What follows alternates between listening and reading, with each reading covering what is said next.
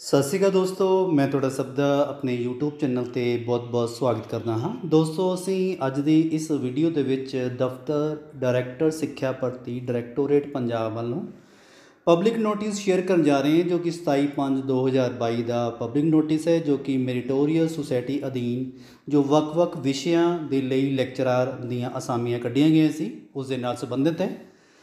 ਤੋ friends video ਸ਼ੁਰੂ ਕਰਨ ਤੋਂ ਪਹਿਲਾਂ ਅਗਰ ਤੁਸੀਂ ਇਸ ਚੈਨਲ ਦੇ ਨਵੇਂ ਹੋ ਤੱਕ ਚੈਨਲ ਨੂੰ ਸਬਸਕ੍ਰਾਈਬ ਨਹੀਂ ਕੀਤਾ, ਤਾਂ ਪਲੀਜ਼ ਪਹਿਲਾਂ ਚੈਨਲ ਨੂੰ ਸਬਸਕ੍ਰਾਈਬ ਕਰੋ ਤੇ ਇਸ ਦੇ ਨਾਲ ਬੈਲ ਆਈਕਨ ਨੂੰ ਪ੍ਰੈਸ ਕਰੋ ਤਾਂ ਕਿ ਹਰ ਇਨਫੋਰਮੇਟਿਵ ਵੀਡੀਓ ਦਾ ਨੋਟੀਫਿਕੇਸ਼ਨ ਤੁਹਾਡੇ ਤੱਕ ਸਭ ਤੋਂ ਪਹਿਲਾਂ ਪਹੁੰਚ ਸਕੇ। ਅਗਰ ਤੁਹਾਨੂੰ ਵੀਡੀਓ ਅੱਛੀ ਲੱਗੇ ਵੀਡੀਓ ਨੂੰ ਲਾਈਕ ਔਰ ਸ਼ੇਅਰ ਜ਼ਰੂਰ ਕਰਨਾ। ਤੋ ਇਸ ਦੇ ਨਾਲ ਹੀ ਅਸੀਂ ਜੋ ਪਬਲਿਕ ਨੋਟਿਸ ਹੈ, ਉਹ ਦੇਖਦੇ ਹਾਂ। 27/5/2022 ਦਾ ਪਬਲਿਕ ਨੋਟਿਸ ਹੈ ਜਿਸ ਦੇ ਵਿੱਚ ਹੈ ਕਿ ਸਿੱਖਿਆ ਭਰਤੀ ਡਾਇਰੈਕਟੋਰੇਟ ਪੰਜਾਬ ਵੱਲੋਂ ਮੈਰੀਟੋਰੀਅਸ ਸੁਸਾਇਟੀ ਅਧੀਨ ਸਕੂਲਾਂ ਵਿੱਚ ਵੱਖ-ਵੱਖ ਵਿਸ਼ਿਆਂ ਦੇ 90 ਲੈਕਚਰਾਰ, ਜਿਹਦੇ ਵਿੱਚ chemistry, physics, biology, math, commerce, Angrezi ਅਤੇ ਪੰਜਾਬੀ ਦੀਆਂ ਅਸਾਮੀਆਂ ਨੂੰ ਭਰਨ ਦੇ ਲਈ ਉਮੀਦਵਾਰਾਂ ਤੋਂ ਮਿਤੀ 1/10/2021 ਤੋਂ ਲੈ ਕੇ 20/10/2021 ਤੱਕ ਆਨਲਾਈਨ ਅਰਜ਼ੀਆਂ ਦੀ ਮੰਗ ਕੀਤੀ ਗਈ ਸੀ।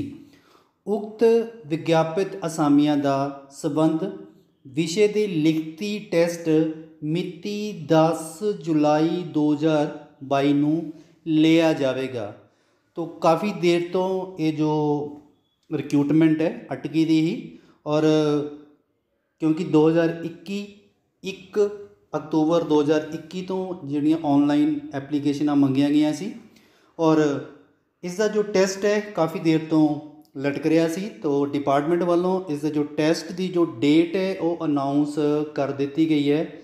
10 ਜੁਲਾਈ 2022 10 ਜੁਲਾਈ 2022 ਨੂੰ ਇਸ ਦਾ ਲਿਖਤੀ ਟੈਸਟ ਲਿਆ ਜਾਵੇਗਾ ਔਰ ਲਿਖਤੀ ਟੈਸਟ ਲੈਣ ਸੰਬੰਧੀ ਡੇਟ ਸ਼ੀਟ ਬਾਅਦ ਵਿੱਚ ਵੈਬਸਾਈਟ ਤੇ www.educationrecruitmentboard.com ਤੇ ਜਲਦੀ ਹੀ ਅਪਲੋਡ ਕਰ ਦਿੱਤੀ ਜਾਏਗੀ।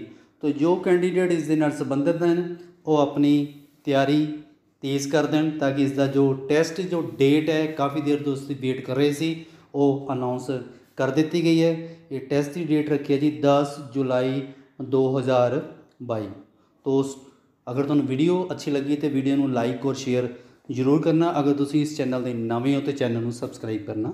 ਧੰਨਵਾਦ, ਜੈ ਹਿੰਦ।